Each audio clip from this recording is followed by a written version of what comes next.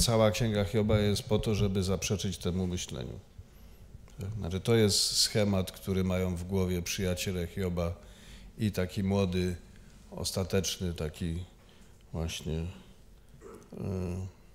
człowiek, któremu arogancja przychodzi z wiekiem, to znaczy jest najmłodszy z nich wszystkich, więc wszystko wie. Nie?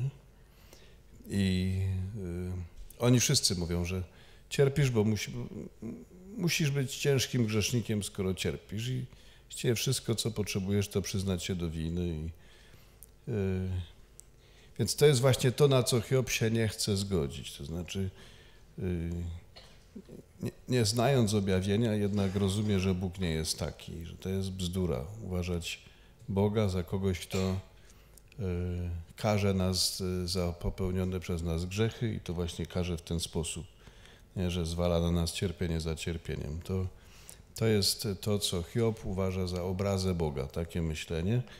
Y, więc w tym sensie cała ta księga jest przeciwko temu, o, o czym pani powiedziała. Właśnie przeciwko takiemu prostemu schematowi. Nie?